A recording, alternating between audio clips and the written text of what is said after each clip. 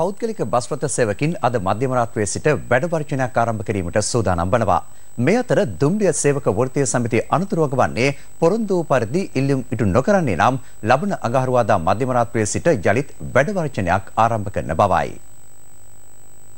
ස්ථානීය දඩමුදල් වැඩි කිරීමට විරෝධය පළ කරමින් පෞද්ගලික බස් සේවකින් අද මධ්‍යම රාත්‍රියේ සිට වැඩවර්ජනයක නිරත වීමට තීරණය කර තිබෙනවා. රථවාහන වැරදි 33ක් සම්බන්ධයෙන් නව ස්ථානීය දඩමුදල් ක්‍රියාත්මක කිරීම පසුගිය ජූලි 15 වෙනිදා සිට ක්‍රියාත්මක වුණා. එහිදී අවම දඩය රුපියල් 500 දක්වා ඉහළ දැමූ අතර ස්ථානීය දඩ පත්‍රිකාවේ උපරිම දඩය රුපියල් 3000ක්. පෞද්ගලික බස් රථ සේවකින්ගේ සංගමය පෙන්වා දෙන්නේ රට තුළ පවතින මාර්ග තදබදය නීතිය ක්‍රියාත්මක කරන ආයතනවල ක්‍රියාකාරීත්වය අනුව නව දඩ හේතුවෙන් තමන් අසිරුතාවට පත්වන බවයි.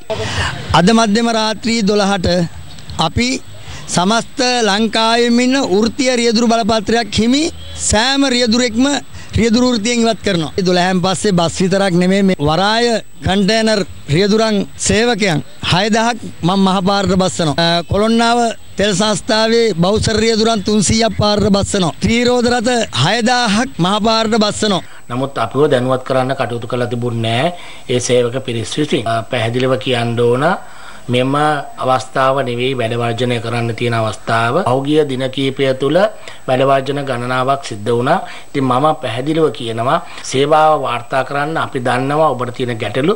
ඉතින් මේ කට්ටිය කිසිම දැනුවත් කිරීමක් නැතුව තමයි මේ වර්ජනයට අපිට ඒකට ඇත්තටම සහයෝගය දෙන්න බෑ. ඒකට හේතුව මේ ළමයින්ගේ විභාගය තියෙනවා. ඒ හින්දා අපි අපේ තිබුණු ස්ට්‍රයිකයකුත් කල් දැම්මා අපි. ඒ හින්දා මේකට අපිට කිසිසේත්ම සහයෝගයක් දෙන්න බෑ. සුපුරුදු පරිදි අපේ බස් අද සියල්ලම ධාවනය වෙනවා.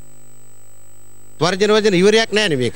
දැන් ඉස්සලා කෝච්චි වර්ජනයක් තිබ්බා. ඒක ඉවරුණු ප්‍රශ්නේ පටන් ගත්තා මේ බස් වර්ජනය. හමුදාව තියෙනවා. තියෙන පුළුවන් නම් ඒව දාලා හරියට දුවලා සේවකයෝ ඉන්නා ගන්න නැත්නම් ප්‍රයිවට් බස් තියෙනවා. ඒව හරියට පවර ගන්න පුළුවන්. මේ ජනතා ජනතා සන්තක කරන්න පුළුවන්. එහෙම කරලා ක්‍රමයක් ගන්න අපේ හමුදාව ඉන්නවා. නේවිකය ඉන්නවා. ඩ්‍රයිවර්ලා ඕන තරම් ඉන්නවා. තියෙන ඒවා පවරාගෙන ඒගොල්ලෝ දාලා මේ දුවන්න එපා. අතිරික්තයක් ඉන්නවා. සිටිපි එකේ මං හිතන විදිහට. ඒ කට්ටියවත් දාලා තව රිටයර් වෙච්ච කට්ටිය තව පුළුවන් කට්ටිය ඇතිනේ මේක මේ විසඳුමක් දෙන්න එයාලවත් දාලා ආමිගේ කට්ටියවත් දාලා අපිට මේකට විසඳුමක් කරන් දෙන්න පුළුවන් ලොකු දෙයක්. මුක්තය කරන්න යන්නේ බස් තියෙන්නේ. ඒ බස් වලට ඒක මේගොල්ලෝ රජයෙන් මේ එක්කහලා ඒ බස් ටික රජය කරන දිවනම් මේ කිසි ප්‍රශ්නයක් වෙන්නේ නැහැ. ඒ මිනිස්සු කොමිසය කර කීයක් දීලා බස් එක දුවන්න ඔය පිටරටින් බස් නේ දාන්න ඒ වැඩේ කරන්නේ.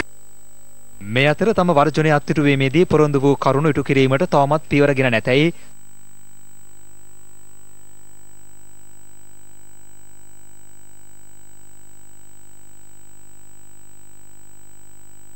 පේක වැටුප් විෂමතා විසඳීම සඳහා ඉදිරිපත් කළ කැබිනට් පත්‍රිකාවක් ප්‍රතික්ෂේප වීමට විරෝධය පළ කරමින් මේ සඳහා සතිය කාලයක් අපි ලබා දෙනවා. ඒ සතිය තුල අපේ ගැටලුව විසඳුනේ නැත්නම් වෘත්තීය ක්‍රියාමාර්ගයකට අනිවාර්යයෙන්ම අවතීර්ණ වෙන්න සූදානම්ෙන් ඉන්නේ. ඊයේ කැබිනට් මණ්ඩලයේදී එහෙම අපේ ගැටලුව විසඳනවා කියලා අපිට පොරොන්දු වුණේ නැහැ. නමුත් අපි බලාගෙන හිටියා ඊයේ කැබිනට් මණ්ඩලයේදී මේ ගැන කතා කරයි. නමුත් ඒ ගැන සාකච්ඡා වෙලා තියෙනවා කියලා අපිට වාර්තා වුණේ නැහැ. නැවත කවුරු හරි නැවත අපිට කිව්වොත් දැනුම් දුන්නොත් ජනාධිපතිතුමා එක්කත් සාකච්ඡා කරලා ඒක ක්‍රියාත්මක වෙන්නේ නැහැ කියලා කියන මොහොතේ සිට අපි වෘත්තීය ක්‍රියාමාර්ගයට අවතීර්ණ මෙම ගැටලුවට අදාළව මුදල් අමාත්‍යවරයා සමග පැවති සාකච්ඡා සම්බන්ධයෙන්ද මෙහිදී අදහස් පළ වුණා. මුදල් ඇමතිතුමා ප්‍රකාශ කර සිටියේ ඔහු මේක ලබා දෙන්නේ නැහැ කියලා. ඔහු මුලින් මාස 3ක් එතුමා ඉල්ලුවා මේ පිළිබඳ සියලුම රජයේ වැටුප්තල සමග සාකච්ඡා කරලා මේක විසඳන්න ඕනේ කියලා. නමුත් අපි ප්‍රකාශ කර සිටියා මේ අපිට අනුමත වෙච්ච කැබිනට් පත්‍රිකාව ලබා දෙන්න කියලා. ඒ අනුව එම සාකච්ඡාවලදී එතුමාගත් තීරණයට අපි එකඟ වුණේ නැහැ. දැනට ඔබතුමාලාට ප්‍රශ්න තියෙන්නේ මුදල් ඇමතිතුමත් එක්ක පමණද?